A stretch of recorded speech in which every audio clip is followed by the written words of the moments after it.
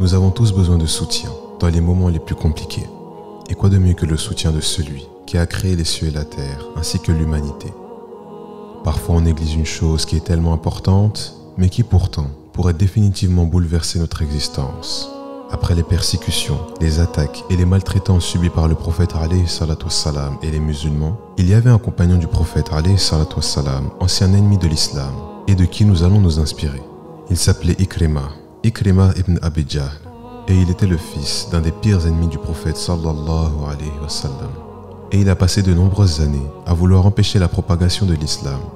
Et comme on le sait tous, à un moment, la Mecque est devenue sous le contrôle des musulmans et Ikrima avait continué de se battre jusqu'aux derniers instants, jusqu'à ce qu'il vit que l'islam triompherait inévitablement.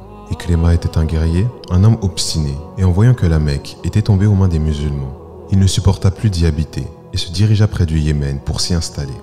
Il était totalement anéanti. Il avait vu son père se faisant tuer et sa propre femme qui s'était convertie. Et pendant qu'il se dirigeait vers la côte pour prendre un bateau, sa femme le rejoint et elle lui dit qu'elle revenait de chez le prophète alayhi salam qui lui garantissait que si Ikrima allait vers lui, il accepterait sa repentance ainsi que ses regrets.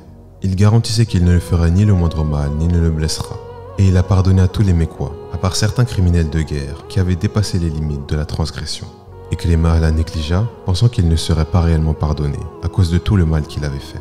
Il monta ensuite sur le bateau en direction du Yémen, avec cette amertume quant à la victoire des musulmans sur les associateurs en pleine mer, le bateau se mit à bouger de façon inhabituelle et la mort était presque imminente. Iklimar, qui était encore associateur, se mit à faire des prières, des prières pour les idoles, afin qu'elles le délivrent de sa terreur. Le capitaine du bateau lui dit alors Akhlas, sois sincère, car dans un moment comme celui-ci, rien ne te sauvera, si ce n'est ta sincérité. Il dit alors qu'à ce moment, c'est comme si toute l'arrogance qu'il avait en lui s'en était allée, et il réalisa qu'il s'efforçait depuis bien trop longtemps de refuser la vérité. Il demanda alors sincèrement à Allah en lui disant Ô Allah, si tu me sauves, j'irai vers le prophète et lui prêterai allégeance.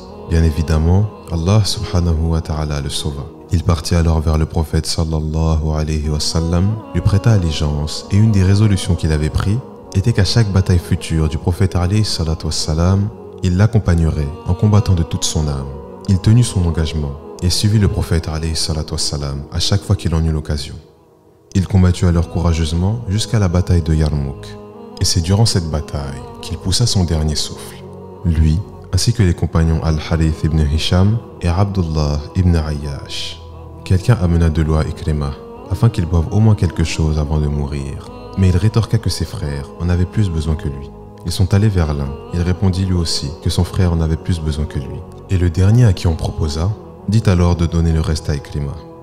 Mais quand ils se sont approchés afin de lui donner, Ikrima était déjà décédé. Ils sont alors allés vers l'autre, et lui aussi. Et puis lorsqu'ils sont allés vers le troisième, il était aussi parti. Qu'est-ce qui les a sauvés Qui a amené la femme d'Ikrima à l'islam, les a fait mourir en martyr, et les a sauvés d'une vie d'injustice et d'égarement. C'est le fait de se tourner vers Allah, le plus sincèrement. Allah subhanahu wa ta'ala nous accordera alors son aide et nous poussera inévitablement vers les choses meilleures pour nous et qui amènent son agrément. Peu importe si on a commis des choses graves le plus important est de chercher sincèrement à changer et agir en conséquence afin que le mal commis, les négligences soient ainsi réparées. Et nous aussi, vivons avec pour objectif d'œuvrer pour Allah uniquement, d'accomplir des actions avec sincérité, sans ostentation, orgueil ni vanité, mais plutôt pour qu'Allah nous donne une récompense doublée le jour où l'on sera ressuscité.